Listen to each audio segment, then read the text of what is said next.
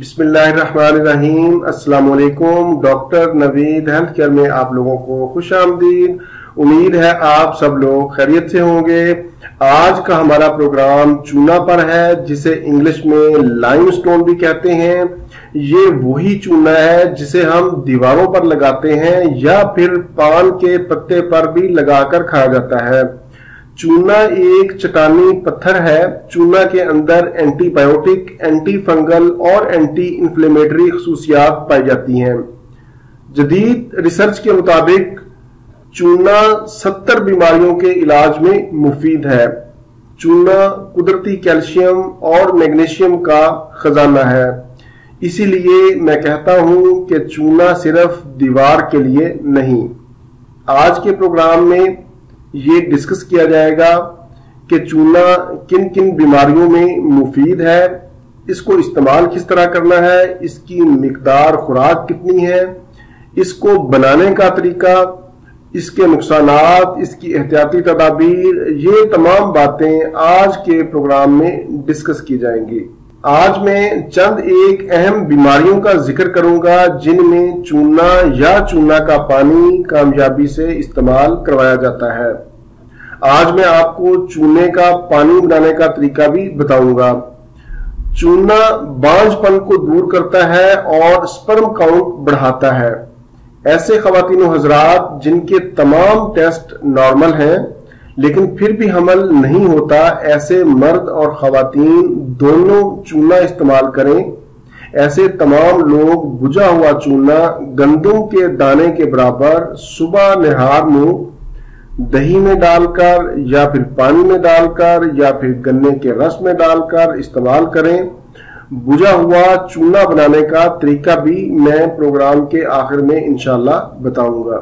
ایسے بچے جن کا قد نہیں بڑھتا، جن کی گروتھ نہیں ہوتی، کیلشیم کی کمی کا شکار ہوتے ہیں، بھوک نہیں لگتی، کچھ کھاتے پیتے نہیں، ایسے بچوں کو چونا گندم کے دانے کا آدھا حصہ کے برابر روزانہ پانی میں مکس کر کے یا دہی میں مکس کر کے استعمال کروائیں۔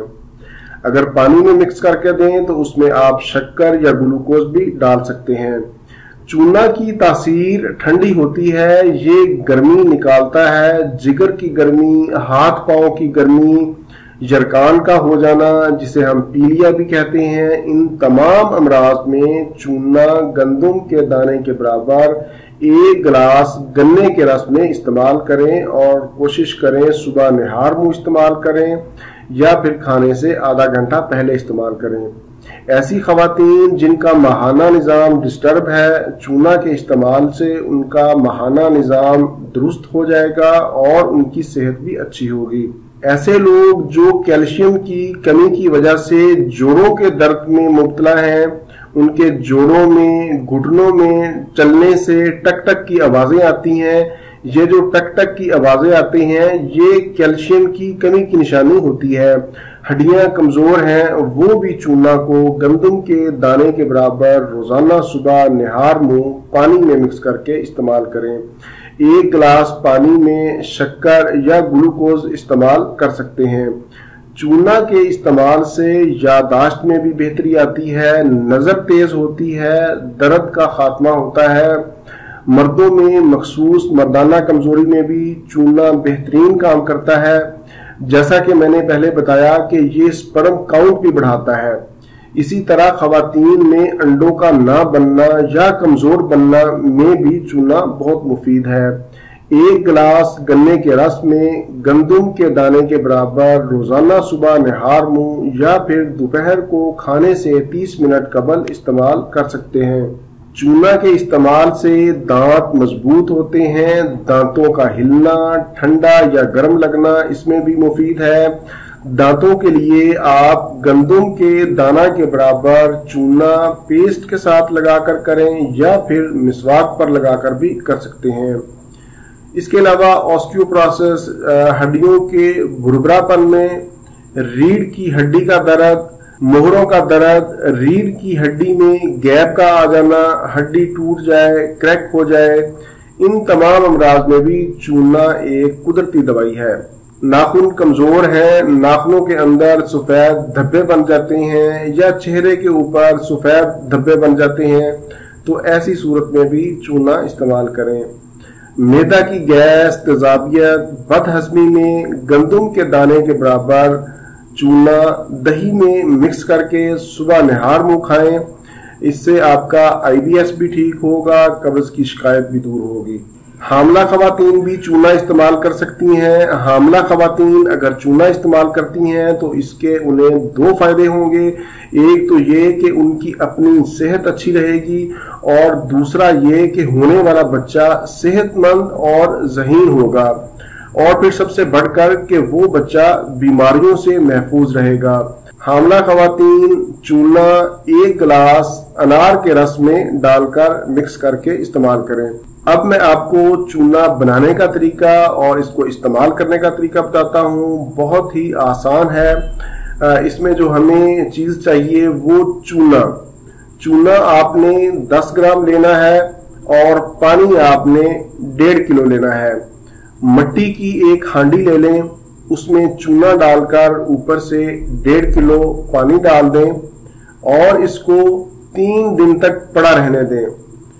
اس کو آپ نے سائے میں رکھنا ہے اور تین دن دن میں تین بار صبح، دوپہر، شام کسی لکڑی کی سٹک سے اس کو ہلاتے رہیں۔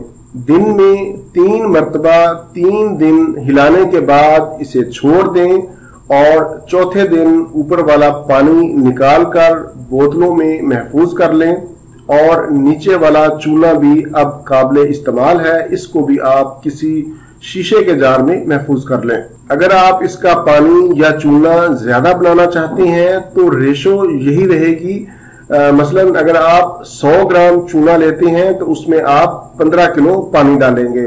اس بجھے ہوئے چونے کو جو آپ نے بنایا ہے، اس کو آپ ایک ماہ تک فریج میں رکھ سکتے ہیں، پھر اس کے بعد نیا بنا لیں۔ یہ جو پانی آپ نکالیں گے، یہ بھی بہت کمال کی چیز ہے۔ یہ بھی کیلشیم اور وائٹامن سی کا خزانہ ہے۔ کیلشیم اور وائٹامن سی کی کمی کی وجہ سے پیدا ہونے والے امراض میں یہ پانی دن میں تین بار استعمال کریں۔ ایک کپ پانی کے تین حصے کر لیں۔ ایک حصہ صبح، ایک دوپہر اور ایک شام استعمال کریں کھانے سے تیس منٹ قبل۔ میں یہاں پر آپ لوگوں کو بتاتا چلوں کہ آج کل مارکیٹ میں جتنے بھی ٹونک یا گرائی واٹر بچوں کے موجود ہیں، ان سب میں تقریباً چونے کا پانی ہوتا ہے۔ بچوں کے امراض میں اس پانی سے بڑھ کر کوئی چیز نہیں۔ ایسے بچے جن کا قد نہیں بڑھتا، نشو نمان نہیں ہوتی یا ایسے بچے جنہیں کھانا ہضم نہیں ہوتا، کمزور ہیں، کبھی دست، کبھی قید سوکڑے کا شکار بچے، ان تمام امراض میں بچوں کو چونے کا پانی آب شفا کا کام کرتا ہے۔ بلکہ میں یہاں پر سجیسٹ کروں گا کہ بچوں کو یہ چونے کا پانی استعمال کروائیں اور بڑے چونا استعمال کریں۔ انسانوں کے ساتھ ساتھ چونا جانوروں کے لیے بھی بہت مفید ہے۔ اگر آپ نے بھینس یا گائے رکھی ہوئی ہے، وہ کمزور ہے، دودھ نہیں دیتی یا کم دیتی ہے یا دودھ میں چکنائی کم ہے، تو ایسے جانوروں کو بجھے ہوئے چونے کے تین سے چار دانے گندم کے بیج کے برابر پانی کی بالٹی میں مکس کر کے پلا دیں۔